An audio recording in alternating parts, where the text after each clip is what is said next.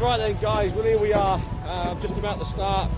Uh, Jack's just got the car out of the trailer, and um, apologies for the quality, but it's pouring down, it's soaking wet here. Um, first uh, auction mart where uh, the start, start and finish is. So um, just dropping the car off now. Just got the car out, and uh, yes, she sounds well enough. Just doing a few last minute alterations and so forth. Um, so yeah, we're on it.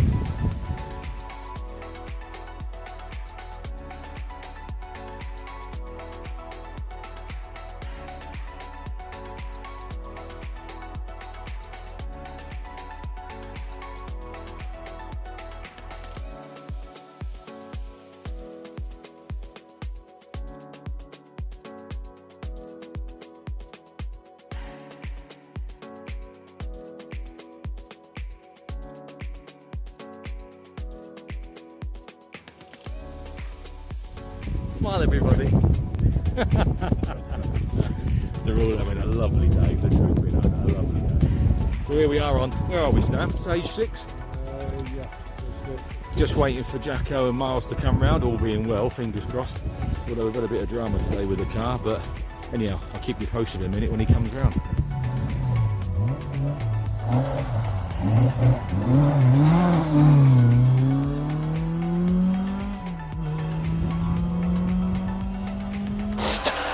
Slippy and only 60 to square left. Slippy and slow crest and square left. Square left here, 40 and three right tightens to two right.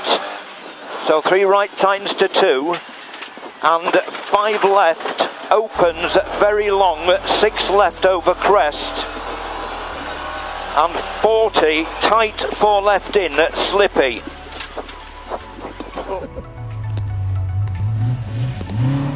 Is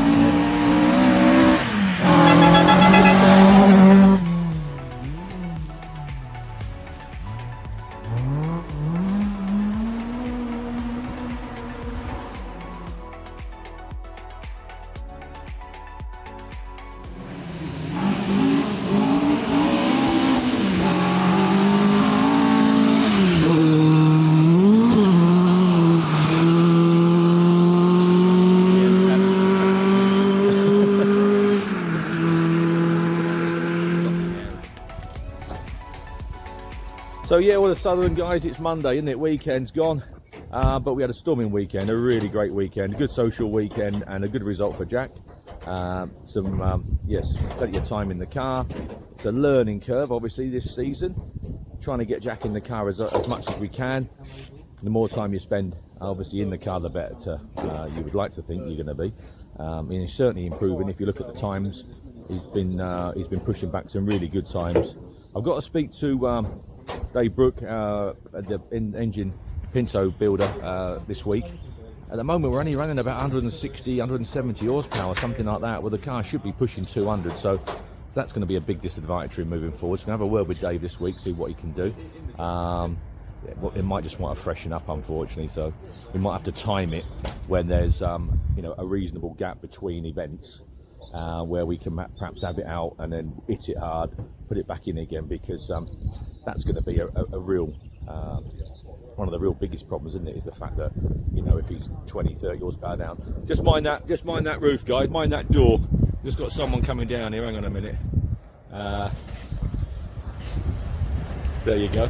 So um, yeah, so uh, I'll have a word with Dave this week. Hang on, we've got people everywhere. We've got another. Mind that door again, Jack. We've got another car now. It's like uh, M25 down here this morning, isn't it? So, uh, so there we go. So we're going to get the car out, give it uh, a shampoo and set, and uh, and then start some alterations. But a good weekend, Jacko, all told. Good weekend. Pleased, aren't you? Yeah, very pleased. Yeah, yeah, yeah, yeah, yeah. Yeah, seventh in the championship at the moment, and I think I've dropped down to third in class. Have of you? the off. Because the off, yeah. Um, No, I think you've done real well.